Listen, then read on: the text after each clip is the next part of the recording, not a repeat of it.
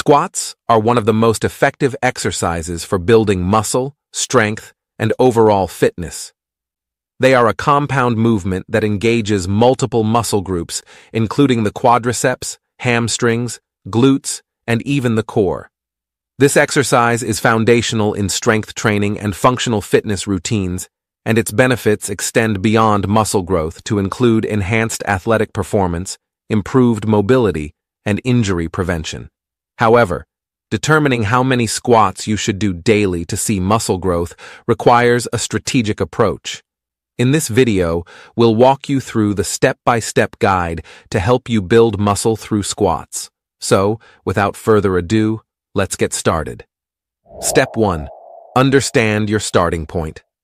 Before diving into a squat routine, it's crucial to assess your current fitness level. This will help you determine a safe and effective starting point for your squat regimen. If you're new to strength training, begin with bodyweight squats to master proper form. For those with more experience, starting with weighted squats or higher repetitions may be appropriate. Squats are demanding on the knees, hips, and lower back, so it's important to ensure these areas are healthy before increasing intensity.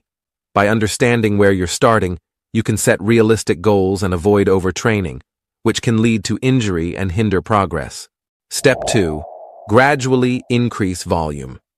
Once you've established your starting point, it's time to gradually increase the volume of squats you perform. Volume refers to the total number of squats you do, including both reps and sets. The key to building muscle is progressively challenging your muscles with increased volume.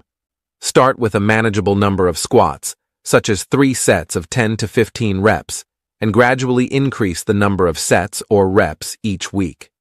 Depending on your fitness level, Aim to squat two to four times per week.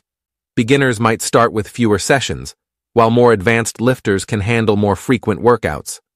Avoid the temptation to increase volume too quickly. If you feel excessive soreness or fatigue, it may be a sign that you need to scale back and allow your muscles to adapt. Gradually increasing volume allows your muscles to strengthen and grow without overwhelming your body. Step 3. Add squat variations. To maximize muscle growth, it's important to incorporate different squat variations into your routine. Each variation targets different muscles and can prevent your body from adapting too quickly, which can plateau progress. Here are some popular squats variations. Number 1. Bodyweight squats. These are great for beginners or as a warm-up for more advanced variations. They primarily target the quadriceps, hamstrings, and glutes. Number 2. Goblet squats. Holding a weight, like a kettlebell or dumbbell, close to your chest while squatting can increase the load and challenge your core stability. Number 3. Back squats. Using a barbell across your shoulders allows you to lift heavier weights, focusing on building mass in your lower body. Number 4. Front squats. Similar to back squats, but with the barbell in front, this variation shifts the focus to the quadriceps and core. Number 5. Bulgarian split squats. A single leg squat variation that can help address imbalances and improve stability while targeting the quads and glutes more intensely. Incorporating a variety of squats not only prevents boredom, but also ensures comprehensive muscle development. Step 4. Don't forget recovery. Muscle growth doesn't happen during your workout. It occurs during recovery.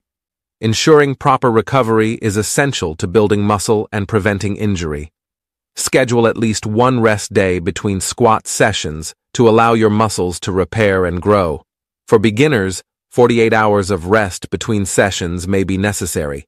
Aim for 7 to 9 hours of sleep per night, as this is when your body repairs muscle tissue.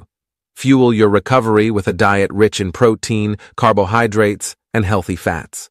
Protein is particularly important for muscle repair and growth, so aim to consume about 1.6 to 2.2 grams of protein per kilogram of body weight daily.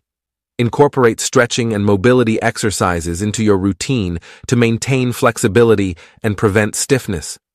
This will help you perform squats with better form and reduce the risk of injury. Prioritizing recovery ensures that your muscles have the resources they need to grow and adapt to increased demands. Step 5. Track your progress. Tracking your progress is crucial to staying motivated and ensuring that you're moving towards your muscle building goals. Keep a detailed log of your workouts, including the number of sets, reps, and weight used. This will help you see your progress over time and make informed adjustments to your routine. Take regular measurements of your legs, glutes, and overall body composition. This will give you tangible evidence of muscle growth. Pay attention to increases in strength, such as being able to lift heavier weights or perform more reps with the same weight. Take photos every few weeks to visually track your muscle growth. Sometimes changes in muscle definition are more apparent in photos than on the scale. By tracking your progress, you can celebrate your achievements and make necessary adjustments to continue advancing towards your muscle building goals. In conclusion, building muscle through squats is a gradual process that requires consistency, patience, and attention to detail. By understanding your starting point, gradually increasing volume, incorporating variations, prioritizing recovery, and tracking your progress, you can effectively use squats to build a stronger, more muscular lower body. Remember, the number of squats you do each day should be tailored to your individual goals, fitness level, and recovery capacity to ensure long-term success. If you want to know the 9 best anti-aging exercises, then watch this video. See you soon.